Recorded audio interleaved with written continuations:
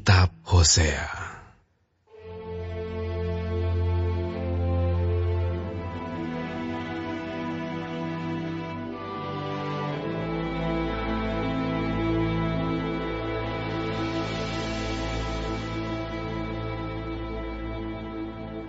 Firman Tuhan yang datang kepada Hosea bin Beeri pada zaman Uzia, Yotam, Ahas dan Hiskia, raja-raja Yehuda. Dan pada zaman Yerobeam bin Yoas, raja Israel. Ketika Tuhan mulai berbicara dengan perantaran Hosea, berfirmanlah ia pada Hosea, Pergilah, kawinilah seorang perempuan sundal, dan peranakanlah anak-anak sundal. Karena negeri ini bersundal hebat dengan membelakangi Tuhan. Maka pergilah ia dan mengawini Gomer binti Diblaim.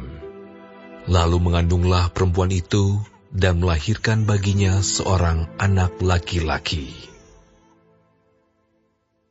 Kemudian berfirmanlah Tuhan kepada Hosea, Berilah nama Yisrael kepada anak itu, sebab sedikit waktu lagi, maka aku akan menghukum keluarga Yehu karena hutang darah Yisrael dan aku akan mengakhiri pemerintahan kaum Israel. Maka pada waktu itu, aku akan mematahkan busur panah Israel di lembah Yisrael. Lalu perempuan itu mengandung lagi dan melahirkan seorang anak perempuan. Berfirmanlah Tuhan kepada Hosea, Berilah nama Loruhama kepada anak itu, sebab aku tidak akan menyayangi lagi kaum Israel, dan sama sekali tidak akan mengampuni mereka. Tetapi aku akan menyayangi kaum Yehuda dan menyelamatkan mereka demi Tuhan Allah mereka. Aku akan menyelamatkan mereka bukan dengan panah atau pedang, dengan alat perang atau dengan kuda, dan orang-orang berkuda. Sesudah menyapih Loruhama, mengandunglah perempuan itu lagi dan melahirkan seorang anak laki-laki. Lalu berfirmanlah ia, Berilah nama Loami kepada anak itu, sebab kamu ini bukanlah umatku, dan aku ini bukanlah Allahmu.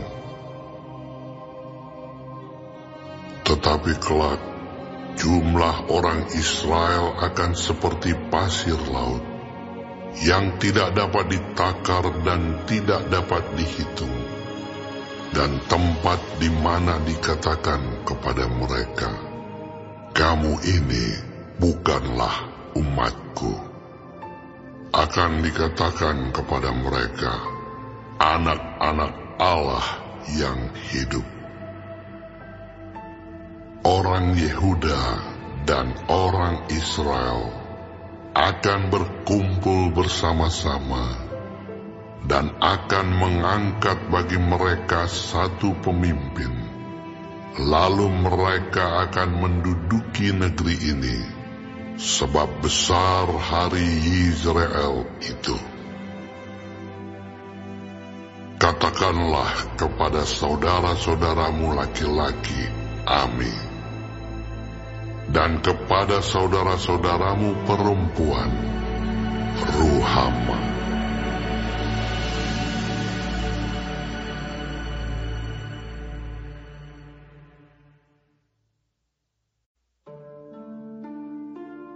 Adukanlah ibumu, adukanlah, sebab dia bukan istriku, dan aku ini bukan suaminya.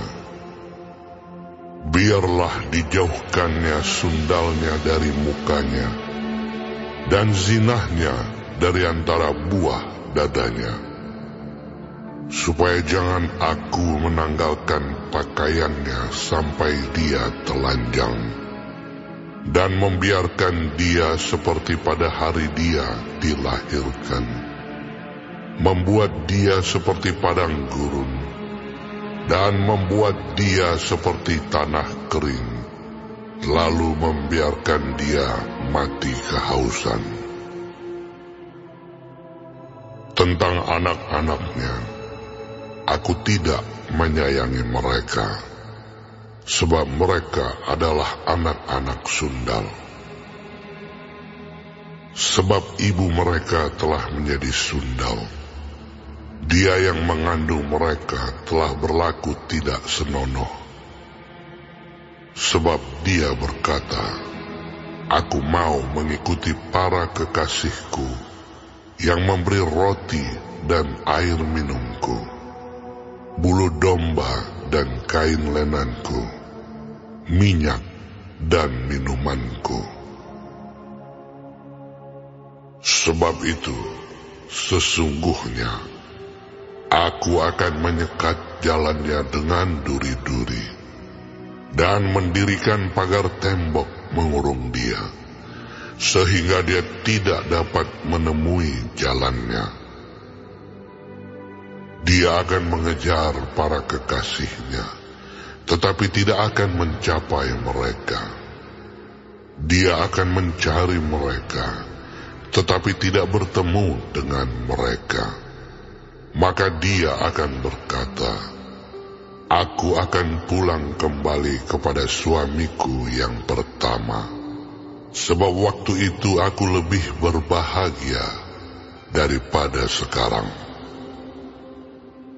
Tetapi dia tidak insaf bahwa akulah yang memberi kepadanya gandum, anggur dan minyak, dan yang memperbanyak bagi dia perak dan emas, yang dibuat mereka menjadi patung Baal.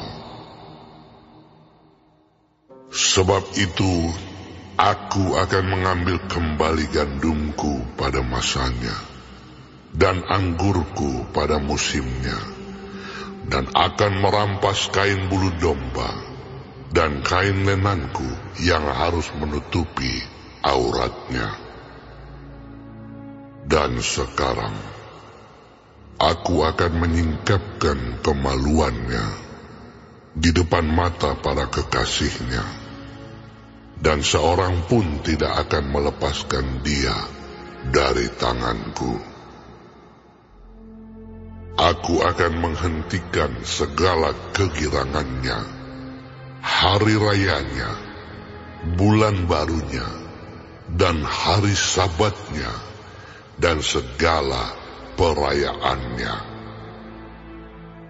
Aku akan memusnahkan pohon anggurnya dan pohon aranya yang tentangnya dikatakannya, ini semuanya pemberian kepadaku yang dihadiahkan kepadaku oleh para kekasihku. Aku akan membuatnya menjadi hutan, dan binatang-binatang di padang akan memakannya habis dan aku akan menghukum dia karena hari-hari ketika dia membakar korban untuk para Baal, berhias dengan anting-antingnya dan kalungnya, dan mengikuti para kekasihnya, dan melupakan aku. Demikianlah firman Tuhan. Sebab itu sesungguhnya, Aku ini akan membujuk dia dan membawa dia ke padang gurun dan berbicara menenangkan hatinya. Aku akan memberikan kepadanya kebun anggurnya dari sana dan membuat lembah Akor menjadi pintu pengharapan. Maka dia akan merelakan diri di sana seperti pada masa mudanya, seperti pada waktu dia berangkat keluar dari tanah Mesir. Maka pada waktu itu demikianlah firman Tuhan. Engkau akan memanggil aku suamiku dan tidak lagi memanggil aku Baalku. Lalu aku menjauhkan nama para Baal dari mulutmu, maka nama mereka tidak lagi disebut. Aku akan mengikat perjanjian bagimu pada waktu itu dengan binatang-binatang di padang dan dengan burung-burung di udara dan binatang-binatang melata di muka bumi. Aku akan meniadakan busur panah, pedang, dan alat perang dari negeri, dan akan membuat engkau berbaring dengan tentram. Aku akan menjadikan engkau istriku untuk selama-lamanya dan aku akan menjadikan engkau istriku dalam keadilan dan kebenaran, dalam kasih setia dan kasih sayang. Aku akan menjadikan engkau istriku dalam kesetiaan, sehingga engkau akan mengenal Tuhan. Maka pada waktu itu, Demikianlah firman Tuhan. Aku akan mendengarkan langit, dan langit akan mendengarkan bumi. Bumi akan mendengarkan gandum, anggur dan minyak, dan mereka ini akan mendengarkan Israel. Aku akan menaburkan dia bagiku di bumi dan akan menyayangi Loruhama. Dan aku berkata kepada Loame, umatku engkau. Dan ia akan berkata, Allahku.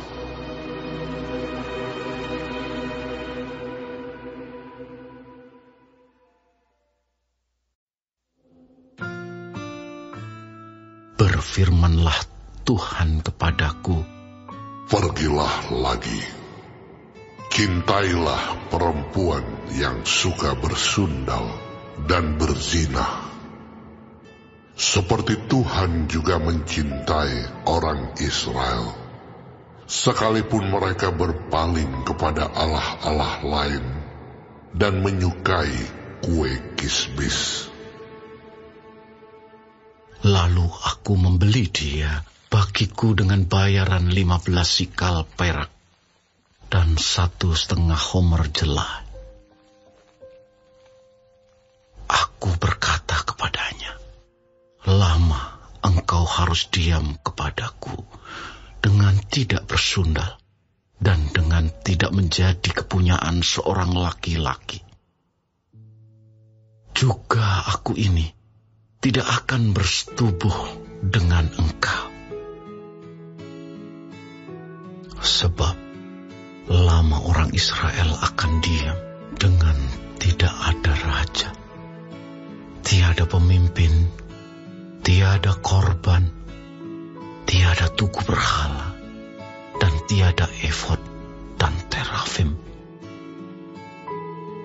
Sesudah itu, orang Israel akan berbalik dan akan mencari Tuhan Allah mereka dan Daud, raja mereka. Mereka akan datang dengan gementar kepada Tuhan dan kepada kebaikannya pada hari-hari yang terakhir.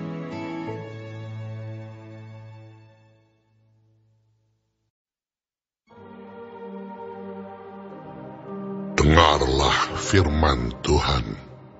Hai orang Israel, sebab Tuhan mempunyai perkara dengan penduduk negeri ini. Sebab tidak ada kesetiaan dan tidak ada kasih. dan tidak ada pengenalan akan Allah di negeri ini. Hanya mengutuk, berbohong, membunuh, mencuri, berzina, melakukan kekerasan, dan penumpahan darah menyusul penumpahan darah. Sebab itu negeri ini akan bergabung dan seluruh penduduknya akan merana. Juga binatang-binatang di padang dan burung-burung di udara, bahkan ikan-ikan di laut akan mati lenyap. Hanya janganlah ada orang mengadu, dan janganlah ada orang menegur, sebab terhadap engkaulah pengaduanku itu, hai imam engkau akan tergelincir jatuh pada siang hari. Juga Nabi akan tergelincir jatuh bersama-sama engkau pada malam hari. Dan aku akan membinasakan ibumu. Umatku binasa karena tidak mengenal Allah. Karena engkaulah yang menolak pengenalan itu maka aku menolak engkau menjadi imamku. Dan karena engkau melupakan pengajaran Allahmu, maka aku juga akan melupakan anak-anakmu. Makin bertambah banyak mereka, makin berdosa mereka kepadaku. Kemuliaan mereka akan kutukar dengan kehinaan. Mereka mendapat rezeki dari dosa umatku dan mengharapkan umatku itu berbuat salah. Maka seperti nasib rakyat, demikianlah nasib imam. Aku akan menghukum dia karena tindakan-tindakannya, dan aku akan membalaskan perbuatan-perbuatannya kepadanya. Mereka akan makan, tetapi tidak menjadi kenyang. Mereka akan bersundal, tetapi tidak menjadi banyak.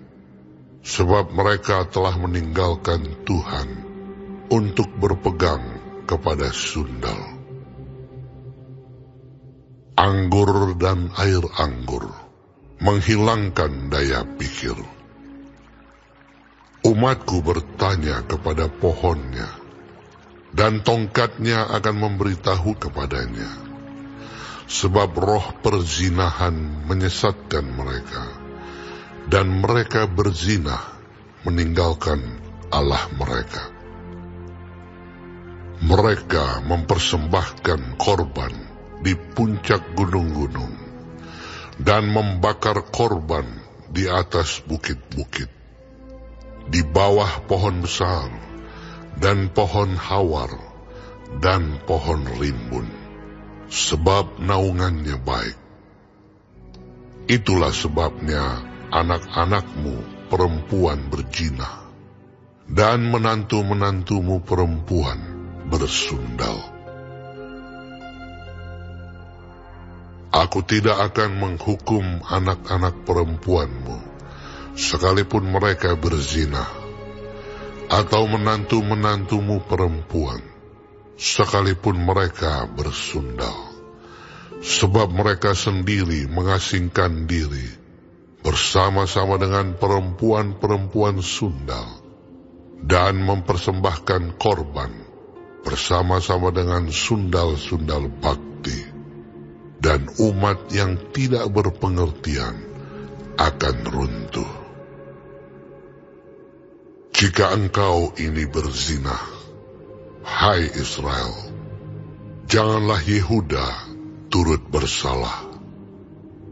Janganlah pergi ke Gilgal, dan janganlah naik ke Bet Awen, dan janganlah bersumpah. Demi Tuhan yang hidup, Sebab Israel degil seperti lembu yang degil Masakan sekarang Tuhan menggembalakan mereka seperti domba di tanah lapang. Efraim bersekutu dengan berhala-berhala. Biarkanlah dia. Persepakatan para pemabuk. Mereka menyerahkan diri habis-habisan kepada persundalan. Mereka lebih mencintai kehinaan daripada kemasyuran mereka. Angin melingkupi mereka dalam sayap-sayapnya. Dan mereka akan mendapat malu karena korban-korban mereka.